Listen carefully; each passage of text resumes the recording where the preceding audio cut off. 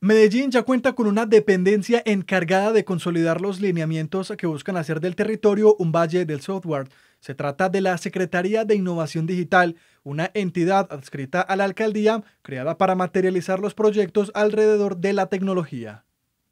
Juntar esas dos variables y crear aquí soluciones para el mundo con impacto local, pero que sean escalables para expandirlos por todo América Latina y por el mundo entero.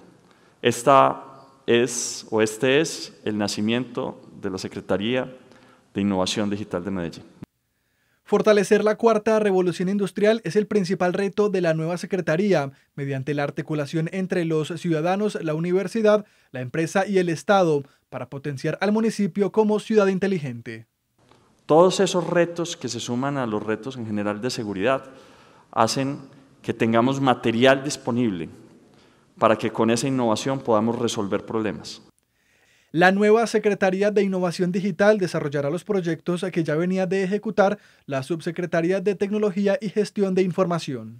Queremos que los ciudadanos puedan hacer control permanente sobre sus funcionarios todos, pero también que puedan cogobernar, es decir, que puedan dar ideas, que puedan eh, implementar, que puedan coger los datos de la administración y crear sus propias métricas.